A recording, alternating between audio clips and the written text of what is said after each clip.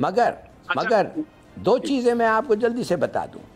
आपका tax system भाई it is very complicated पैंतीस एजेंसीज हैं टैक्स सिस्टम टैक्स कलेक्शन में। फिर आपका एक प्रोविंशियल टैक्स है एक फेडरल टैक्स है उनमें कोई हारमनी नहीं है। एक नेशनल टैक्स टैक्स अथॉरिटी नहीं है आपके पास। और दूसरी चीज़ समी साहब 113 दिन लगते हैं आपको इलेक्ट्रिसिटी कनेक्शन कनेक्शन लेने के लिए। 125 दिन लगते हैं कंस्ट्रक्शन परमिट लेने के लिए। 105 दिन लगते हैं प्रॉपर्टी को रजिस्टर करने के लिए। तो भाई, दो हफ़्ते लगते हैं सिंगापुर में या दस दिन। तो ये सब आपको भी अभी बहुत काम करना है। तो these are the outstanding matters I thought कि मैं आपको बताऊँ। ठीक अच्छा एक मेरा और सवाल है, जरा वो पाकिस्तान से हटके है। जो एक बड़ा इन मीटिंग्स में और इस ओलंपिक्स की जो तकरीब है, उसमें जो एक बड़ी मीटिंग है, वो इनकी है प्रेसिडेंट पुतिन की प्रेसिडेंट शी से। और अमेरिका के खिलाफ वो इस वक्त जो यूक्रेन का मसला है, उसमें चाइना की सपोर्ट रशिया चाहता है।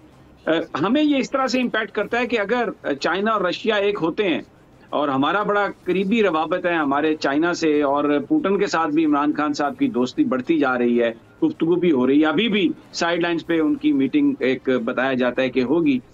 तो इन हालात में फिर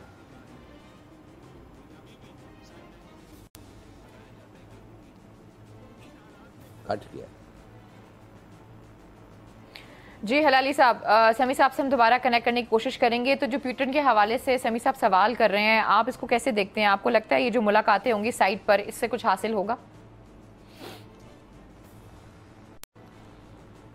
मैं बात जवाब दूँ? बिल्कुल अ, अगर होगा तो होना चाहिए।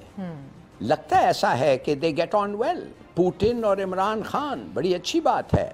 और बड़े मामले हैं जो डिस्कस होने हैं बल्कि मामला इस हद तक आ गया आ गया है कि सेपरेटली इंडिपेंडेंटली पुतिन जो है, वो पाकिस्तान आने के लिए तैयार है और ये विज़िट जो उनका है अनाउंस किया जाएगा। वो रेलवेज का है गैस पाइपलाइंस का है, शायद स्टील का भी हो। तो बिल्कुल there is more than enough मगर अगर आप समझते हैं कि पॉलिटिकली और डिप्लोमेटिकली रूस जो है, वो हमारे साथ इतनी दोस्ती दिखाएगा कि हिंदुस्तान को इतराज़ हो, वो नहीं होगा। लेट्स नॉट फॉरगेट हिंदुस्तान और रूस पुराने दोस्त हैं और उनका पुराना ये है और इसी कुछ चंद दिनों पहले, चंद महीने पहले, वो साढ़े चार बिलियन डॉलर का उन्होंने डिफेंस सिस्टम लिया है, एस फोर हंड्रेड रूस से। तो वो ऐसा कुछ नहीं कह रहेगा। Which will make it look कि पाकिस्तान का डिप्लोमेटिक फतह है, मगर मेरे ख्याल में बड़ी अच्छी बात होगी हमारे लिए और हमारा वाकई फतह होगा अगर हम और रूस जो हैं बेहतर ताल्लुकात स्टार्ट करें।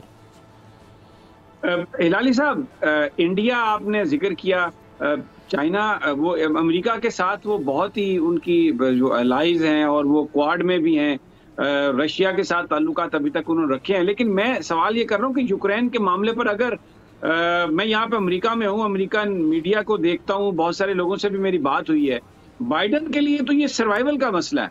और इस वक्त जो सूरत हाल है जिस तरह यूरोप में भी एक चाइनीज़ मीडिया हाईलाइट कर रहा है कि किस तरीके से यूरोपियन यूनियन डिवाइडेड है इस इशू पर तो इंडिया के लिए भी तो मुश्किल तो होगी फिर कि वो रशिया के साथ उसकी पुरानी दोस्ती है अमेरिका के साथ नई नई मोहब्बत बहुत गाढ़ी हो गई है।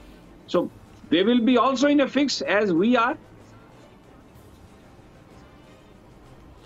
नहीं, मेरे ख्याल में अगर अमेरिका समझता है कि हिंदुस्तान सब कुछ छोड़ के उनके गोद में छलांग मार के बैठ जाएगा, वो गलत है। हिंदुस्तान ऐसी चीज़ नहीं करेगा, ख़ास तौर रूस के साथ। इसलिए रूस का जो मिलिट्री कोलैबोरेशन है, वो बहुत है और काफ़ी हद तक इंडियन एम्यूनेशन और और चीज़ें जो हैं वो शायद रूस से आते हैं। मेरे ख्याल में कि अमेरिका जो है वो बड़े कंसेशंस दे रहा है इंडिया को। वो is going out of its way to cultivate India हमें तो एक लात मार के निकाला है उधर से। हमें तो बेइज्जत कर बेजती करके हमें उधर निकाला है। बात नहीं करते फ़ोन नहीं करते सुनना नहीं चाहते। और ये भी जो इन्होंने दावत दी थी ये कॉन्फ्रेंस के लिए जो मुझे कहा गया है कुछ लोग हैं पाकिस्तान में जो मुख, मुखालिफ कैंप में हैं वो कहते हैं नहीं नहीं यार अच्छा रिलेशनशिप अमेरिका के साथ रखना चाहिए। उसने कहा इमरान खान को प्री रिकॉर्डेड दो मिनट या तीन मिनट का टेप दो वो खेल लेंगे. यार ये किस किस्म का बंदे हैं ये? They are going out of the way to insult us और हमारी सवरे हमारा इंडिपेंडेंस सॉवरेनिटी तो छोड़ो, वो तो in no case can that be compromise मगर हमारा इंसल्टिंग बिहेवियर टुवर्ड्स पाकिस्तान ये अनएक्सेप्टेबल है. We should draw the right conclusion ठीक है बहुत बहुत शुक्रिया